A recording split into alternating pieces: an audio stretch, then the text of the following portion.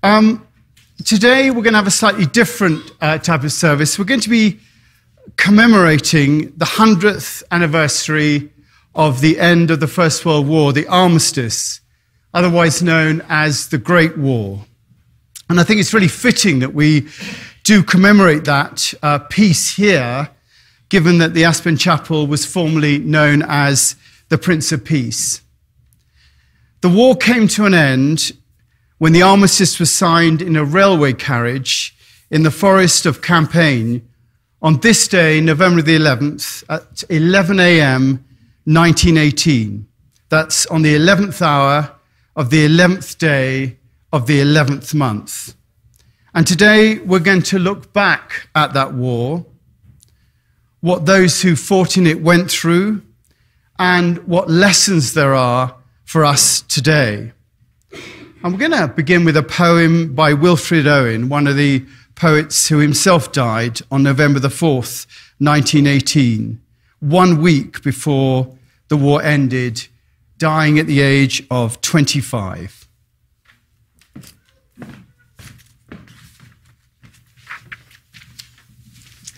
Anthem for Doomed Youth by Wilfred Owen. What passing bells for these who die as cattle?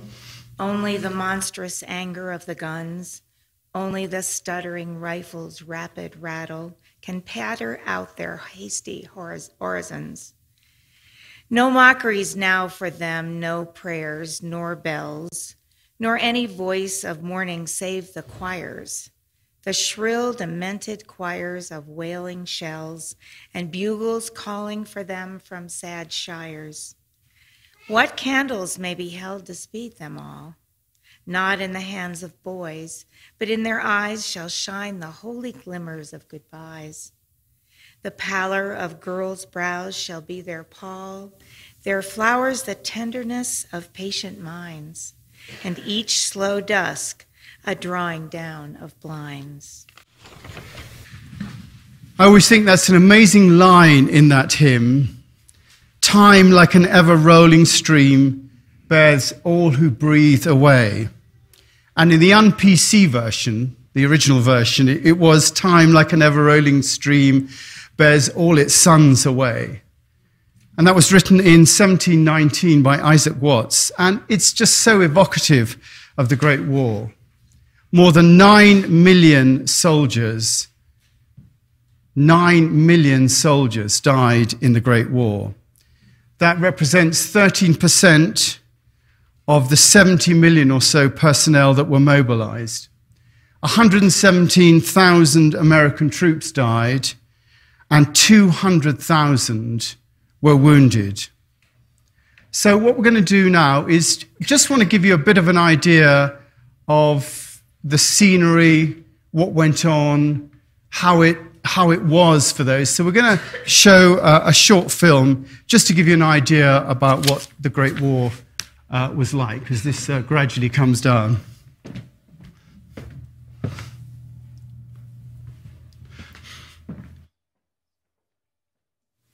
Lieutenant Colonel John McCrae, a Canadian physician and poet, wrote this poem on May 3rd, 1915, after presiding over the funeral of a friend and fellow soldier, Alex Helmer. McCrae was dissatisfied with the poem and discarded it. But fellow soldiers retrieved it, and it was first published on December 8th in the London magazine Punch. It has been described as being, quote, almost an exact description of the scene in front of us.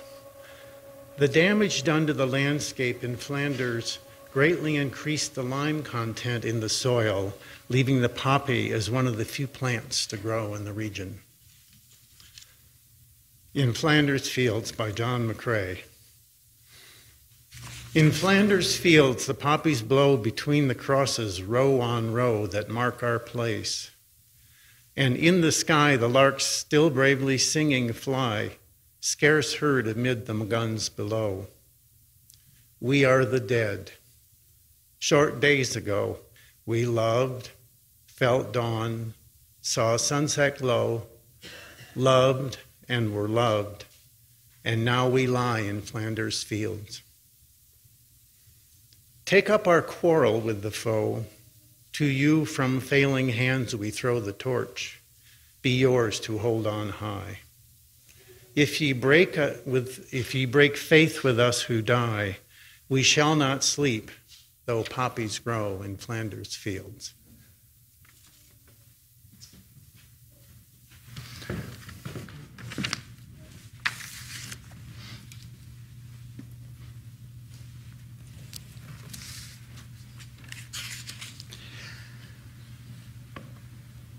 It always brings to mind that famous quote uh, from George Santayana, the philosopher Those who do not learn from history are doomed to repeat it. And it just so strikes a chord here. This was supposed to be the war to end all wars. And yet, all of us can list off so many wars that have happened since this one, including, of course, the Second World War. And, you know, it makes me ask myself what is it going to take for us to realize that war is simply not an appropriate response to the problems of world politics? I have a hope that war will someday go the same way as slavery. You know, we've not completely abolished slavery yet, and its impact is still felt around the world. And yet, there's a general understanding that slavery, slavery is an anathema in the modern world. And I hope that one day we'll be able to look back at war in the same way. Something that was used in the past, but is an anathema to us now in the modern world. But I wonder what it will take to make that happen. It's something that seemingly everybody wants, and yet war comes around time and time again. If you look at the lessons of the First World War, one of them is that if you're not magnanimous in victory, your actions will come back to haunt you. And it's often said that the harsh conditions imposed on Germany after the First World War laid the seeds for the rise of Hitler and the beginning of the Second World War. And so we have to look at our responsibility in the creation of the conditions that lead to war. That great quote from Lao Tzu in the Tao Te Ching The master thinks of his enemy as the shadow that he himself casts. The master thinks of his enemy as the shadow that he himself casts.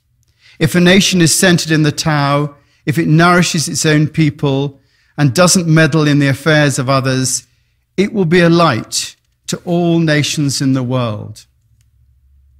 His enemy as the shadow that he himself casts. Often we we create the very thing that we have to fight.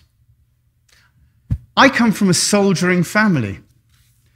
My grandfather, General Sir Ivo Lucius Beresford Vesey, fought in the, he fought in the Boer, this is the unlucky generation. He fought in the Boer War, the First World War, and the Second World War. My grandfather, the other grandfather, Brigadier General Wilfred Algernon Ebsworth, fought and was badly wounded in the trenches. My father was in Africa in the First World War and was wounded there. My uncle and my mother were both in military intelligence. And I went to Wellington College, which is a school for the sons of army officers and to create more officers. However, something must have gone wrong because here I am, and I, am not in the army. What's it going to take for us to get the point that war is not considered an option? Well, obviously, it's all about the evolution of consciousness. Now, in most Sunday schools that you go to in churches around the world, you can bet your life to any question that the Sunday school teacher will ask, the answer will be Jesus. You can't go wrong if you just give that answer. And here, in the Aspen Chapel, pretty much the answer to any question that I might ask is always the answer is always the evolution of consciousness. And really, you know, the thing is that here I think it is the answer. If you look at the way that society has developed, it's all about a, a gradual understanding that such and such is the right way and such and such is not the right way. And you can look at the growth of understanding around race, around gender, around slavery, around education, around health.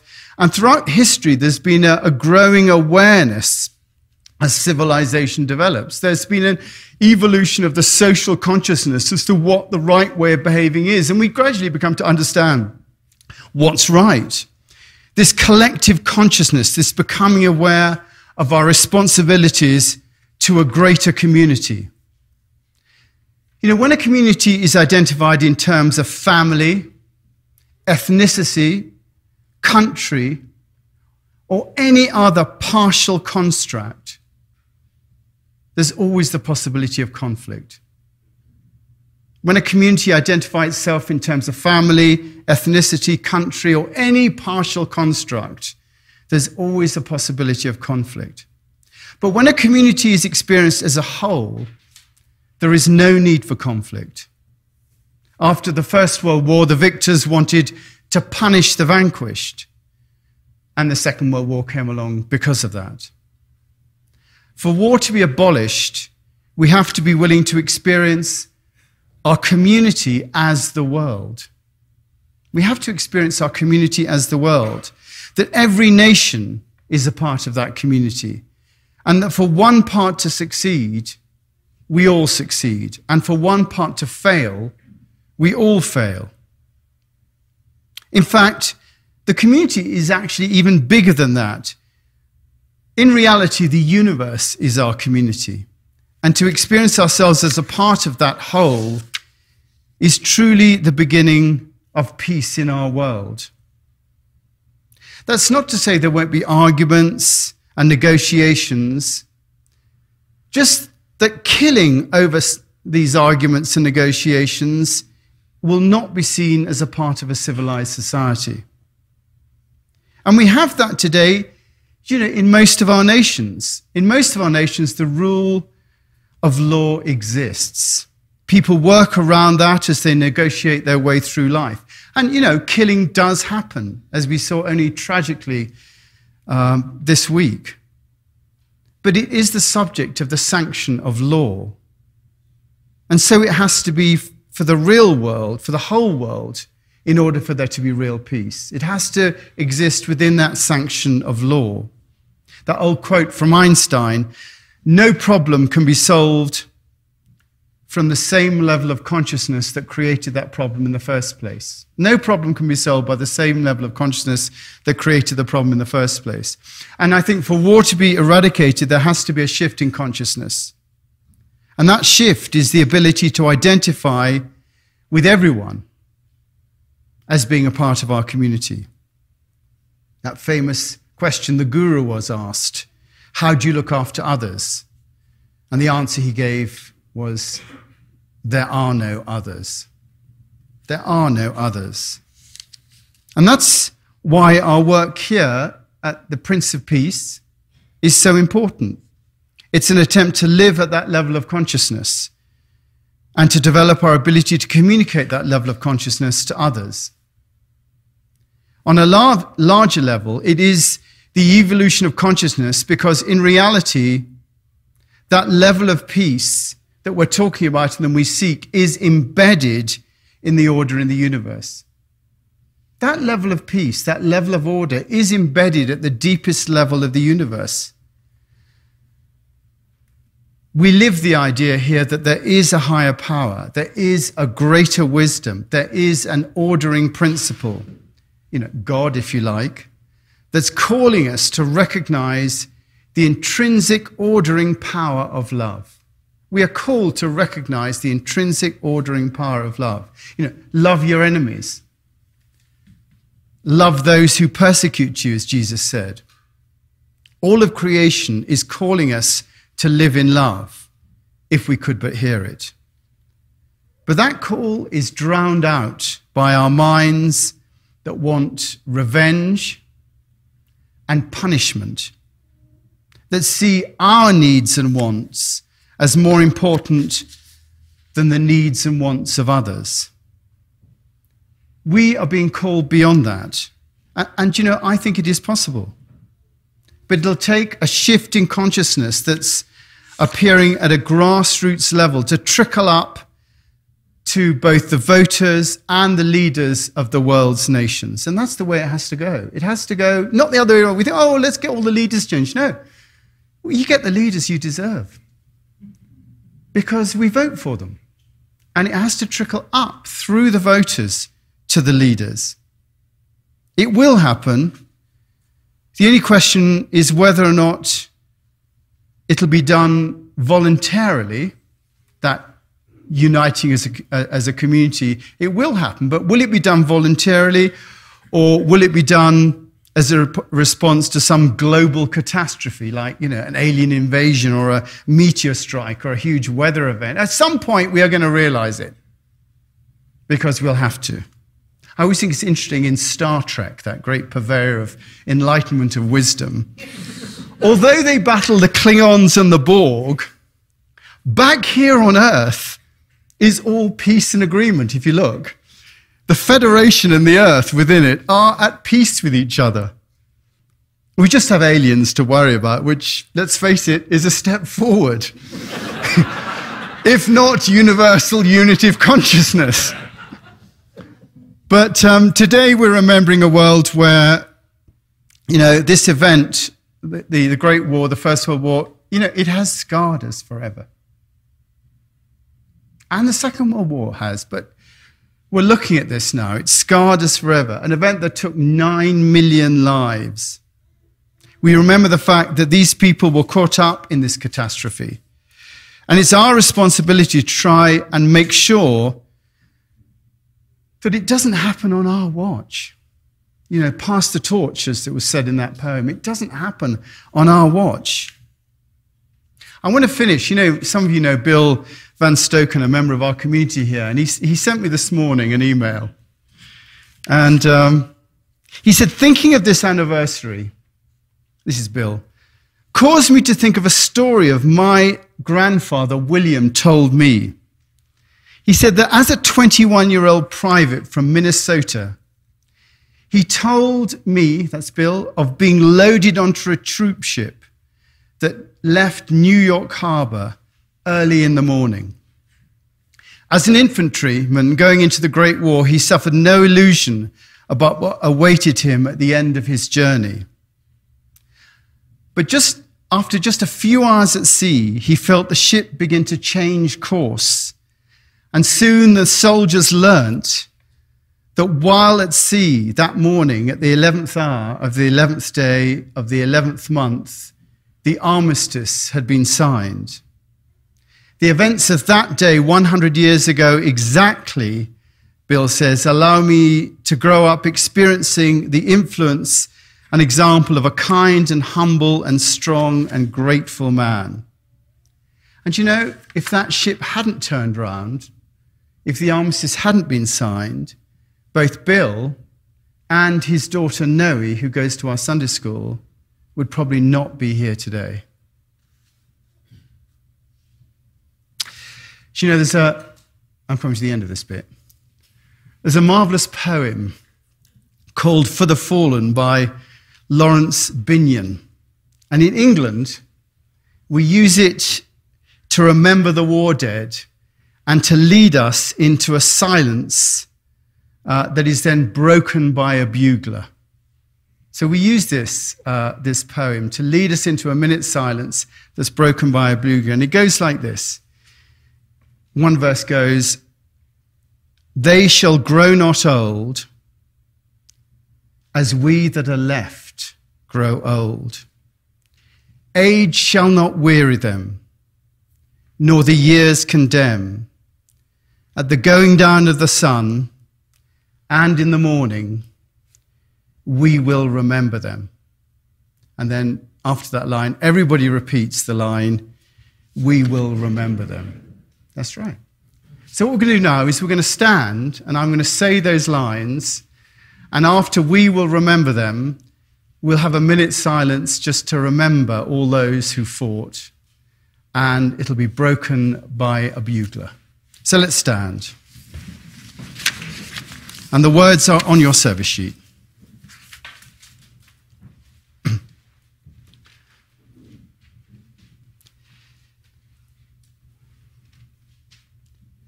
they shall grow not old, as we that are left grow old. Age shall not weary them, nor the years condemn. At the going down of the sun and in the morning, we will remember them.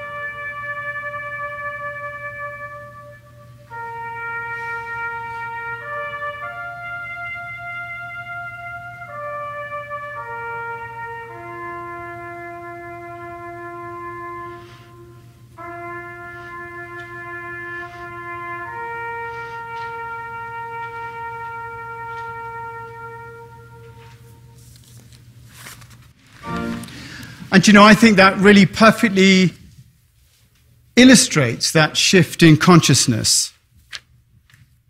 Not that our country is anything less. I vow to thee, my country, all earthly things above, entire and whole and perfect, the service of my love. The love that asks no questions, the love that stands the test, that lays upon the altar the dearest and the best the love that never falters, that love that pays the price, that love that makes undaunted the final sacrifice. And then it goes on just to talk about something further. And there is another country I've heard of long ago, most dear to them that love her, most great to them that know. We may not count her armies, we may not see her king her fortress is a faithful heart. Her pride is suffering. And soul by soul and silently, her shining bounds increase, and her ways are ways of gentleness, and all her paths are peace. The idea of a greater idea than just what we want for ourselves and for our own. And Heather's just going to come and read just that famous reading now from Isaiah.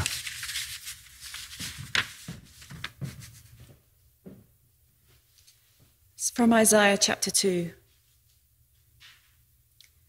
In the last days, the mountain of the Lord's temple will be established as the highest of the mountains. It will be exalted above the hills, and all nations will stream to it. Many peoples will come and say, Come, let us go up to the mountain of the Lord, to the temple of the God of Jacob. He will teach us his ways, so that we may walk in his paths. The law will go out from Zion, the word of the Lord from Jerusalem. He will judge between the nations and will settle disputes for many peoples. They will beat their swords into plowshares and their spears into pruning hooks. Nation will not take up sword against nation, nor will they train for war any more. Come, descendants of Jacob, let us walk in the light of the Lord.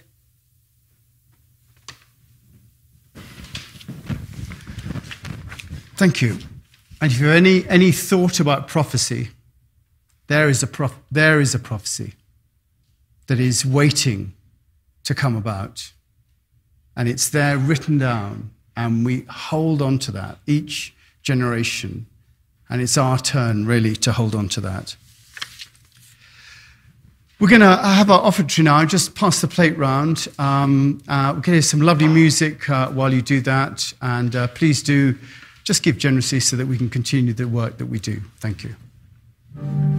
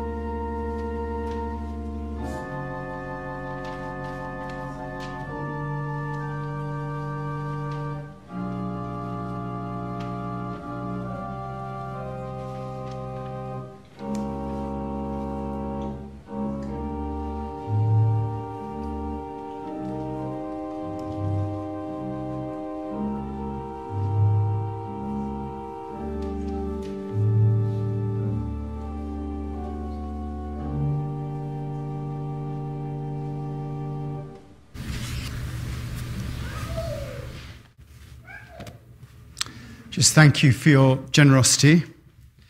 I think it takes intention to move to that next level of consciousness. And I like to use this litany for peace just to remind us of what's at stake. I'm just going to read it through myself before we do it. So it's always difficult when you're reading something just to read it off straight. You don't know what's coming next. Uh, so I'm just going to read it first of all myself. In this time of war, we acknowledge the love of the Great Spirit in the face of stupidity, we ask for wisdom. In the presence of death, we celebrate life. O Lord, in the midst of doubt and fear, we affirm your living love. In pain and in grief and in sorrow, we ask your blessing on the world. In the knowledge of your great goodness, help those who cannot help themselves. Great Spirit, we give ourselves and our world into your hands. Inspire us into the way of peace. So let's stand uh, to say this. Let's stand. And your words are the words in heavy type.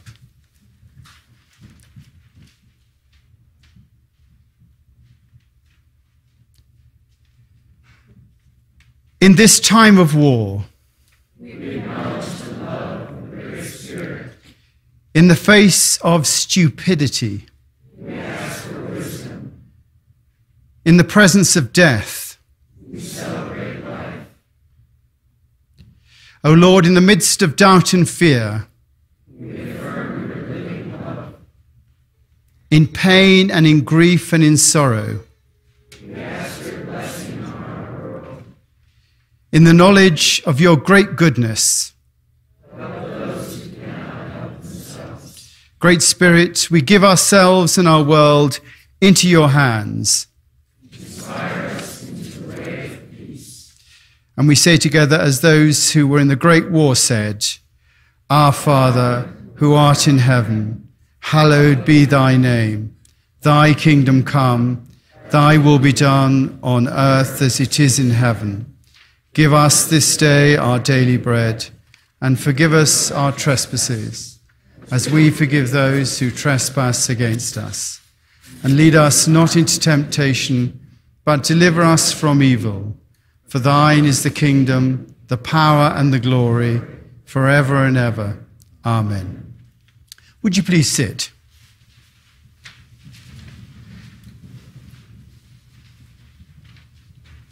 like those other poems, I think it's important to hear the words of those that suffered and their complaint at where they were led and how they were led. And this still applies today. This short poem by Siegfried Sassoon, who fought in the war and survived, dying in 1967 at the age of one. It's called The General.